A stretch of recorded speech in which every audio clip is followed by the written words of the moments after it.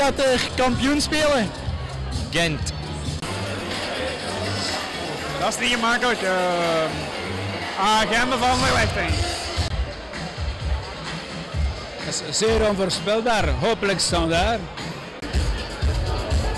Dat is wel iets moeilijkere vraag. Hè. Uh, ik zet in uh, om opnieuw Gent.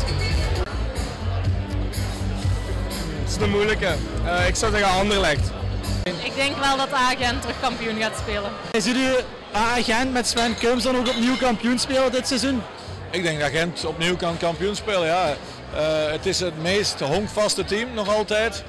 Um, Anderlecht en zijn niet constant genoeg op dit ogenblik. Oostende zie ik nu niet meteen kampioen worden.